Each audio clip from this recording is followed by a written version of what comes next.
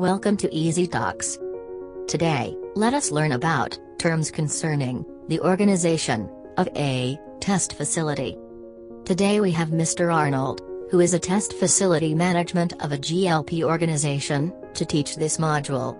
Hi everyone, I am Arnold, and I am here to teach you the major terms concerning the organization of a test facility. Let us see what is test facility management. Test facility management is a person or persons who has the authority and formal responsibility for the organization and functioning of the test facility, according to principles of good laboratory practice. Let us see what is Quality Assurance Program. Quality Assurance Program is a defined system, including personnel, which is independent of study conduct, and is designed to assure test facility management of compliance with principles of good laboratory practice. Let us see what is study director. Study director means the individual responsible for the overall conduct of the non-clinical health and environmental safety study. Let us see what is standard operating procedures. Standard operating procedures are the documented procedures which describe how to perform tests or activities, normally not specified, in detail in study plans, or test guidelines. Let us see, what is, Master Schedule. Master Schedule, is a, compilation of information, to assist in the assessment, of workload, and for the tracking of, studies, at a test facility.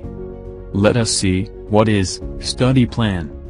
Study Plan, means a document, which defines the objectives, and experimental design, for the conduct of the study, and includes, any amendments. Let us see, what is, study plan amendment. Study plan amendment, means an intended change, to the study plan, after the study initiation date. Let us see, what is, study plan deviation. Study plan deviation, means an unintended departure, from the study plan, after the study initiation date. Let us see, what is, test item. Test item, means, an article that is the subject, of a study. Let us see, what is, test system.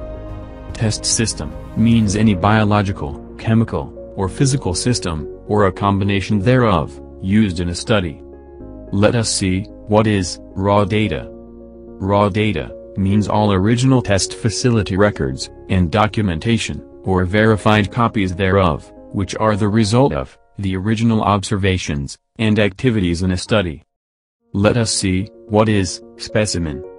Specimen means, any material, derived from a test system, for examination, analysis, or retention.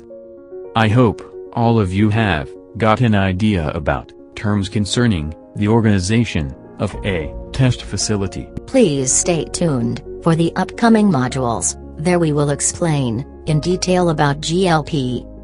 Thank you for watching this video.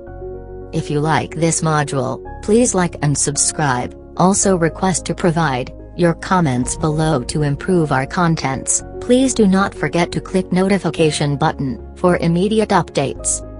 Happy learning! If you want to get certified by EasyTox, please check the description of this video.